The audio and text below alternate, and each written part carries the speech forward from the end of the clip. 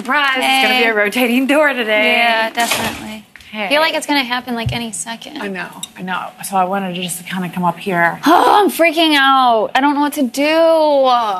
I'm like literally still trying to like talk things out. Yeah. But I do know that Enzo said he- he'll keep you no matter what. Do you feel comfortable with that or no?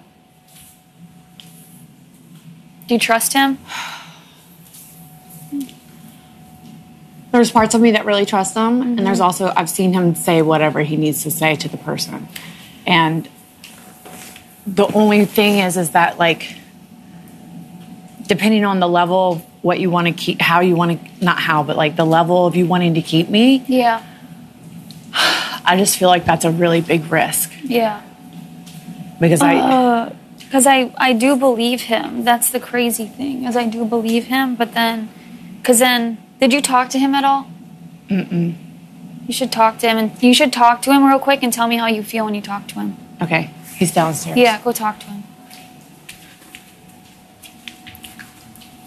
yeah, I don't want this to happen yet.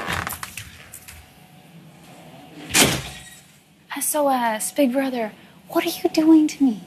What are you doing to me? I'm losing my mind. Jeez, oh, Pete. I do feel like a mastermind a little bit.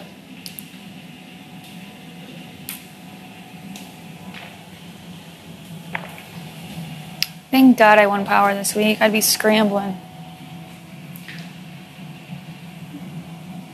The fact that she thinks I trust her after she tried to freaking flip a vote during triple eviction and backdoor me, it's good gameplay. I gotta give myself some credit, man.